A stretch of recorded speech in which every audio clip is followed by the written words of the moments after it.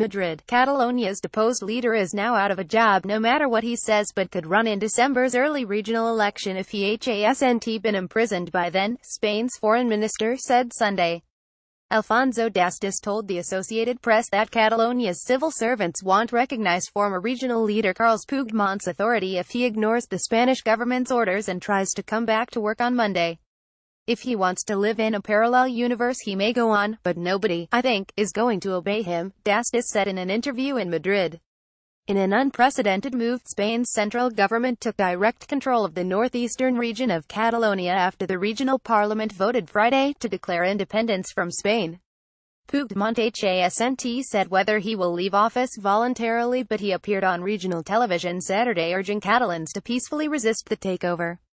No matter what he says, the central government is now in charge of Catalonia, although we have clearly decided we don't want to be there for the long run, Dastis said.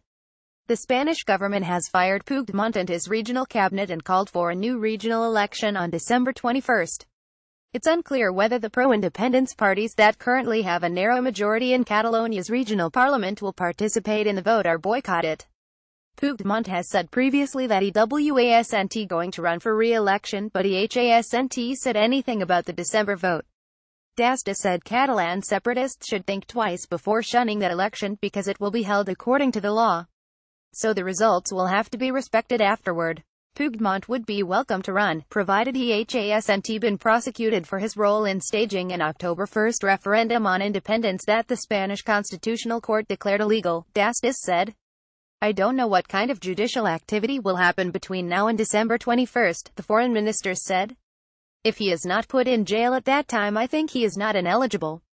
Spanish prosecutors, however, have said they are considering whether to file rebellion charges against Catalan separatists who organized the October 1 vote, which would presumably include Puigdemont and other top separatists. Spain is taking a gamble by calling a vote that could strengthen the pro-independence majority in the Catalan parliament.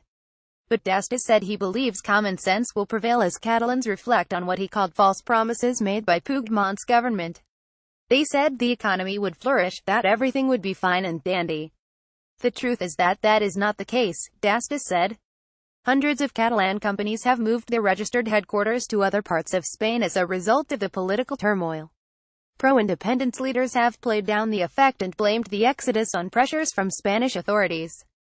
Dastis noted the Catalan parliament's declaration of independence had no support among his colleagues in the European Union.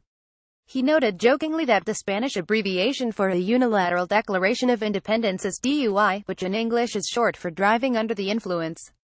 Many people think, like me, that these guys were driving under some kind of influence, he said. People are perplexed, and they didn't think that such a thing would be possible in Europe in the 21st century. Asked to comment on possible outcomes of Spain's worst political crisis in decades, Dastis said he didn't think it would lead to the breakup of Spain but could potentially lead to expanded self-rule for Catalonia. I rule out full independence but not necessarily more autonomy, even if they are now already one of the regions with the highest powers and competences not only in Spain but in the world at large, he said. Dastis has defended the actions of Spanish police who used batons and rubber bullets to disperse nonviolent protesters at polling stations on October 1.